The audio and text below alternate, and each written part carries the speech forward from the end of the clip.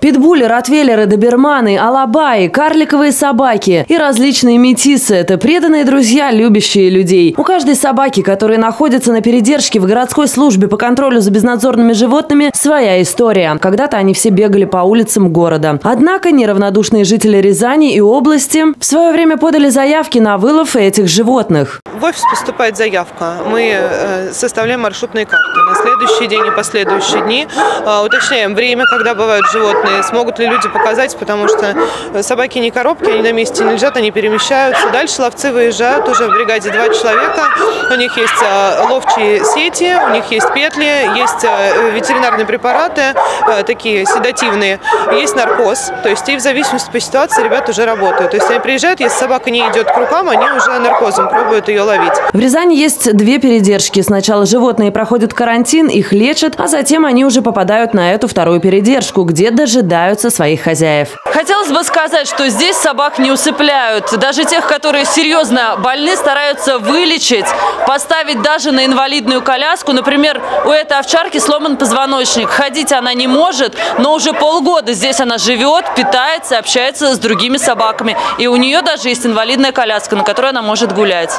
Все собаки, которые находятся здесь, проходят процедуру стерилизации. Городская служба по контролю за безнадзорными животными сотрудничает с несколькими ветклиниками Рязани, где в определенные дни недели бесплатно проводятся процедуры выловленным бездомным животным. Насчет э, кастрации, как она благоприятна для дальнейшей жизни или нет? Я считаю, что, конечно же, да, потому что, во-первых, это исключает э, стресс у животного, в первую очередь это половое стресса, а во-вторых, э, уже нету конфликтов э, с другими своими сородичами по поводу противоположного пола.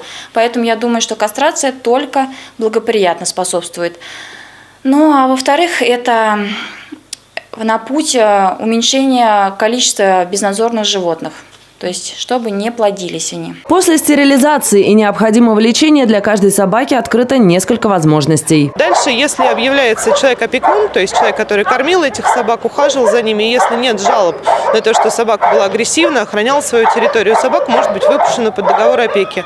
Ей устанавливается желтая клипса, чип, она прививается от бешенства и выпускается обратно в среду обитания под ответственность человека уже. Агрессивных собак, которые хотят наброситься на человека, со временем могут усыпить. За остальными ухаживают днем и ночью, помогают юному потомству. Здесь есть совершенно замечательные щенки и настоящие сторожевые псы. В этой передержке можно найти себе не только настоящего друга, но и оказать поддержку этому предприятию. В данный момент сейчас в школах проходит акция по сбору необходимых медикаментов и лекарственных препаратов для всех этих собак. И каждый может помочь этим животным.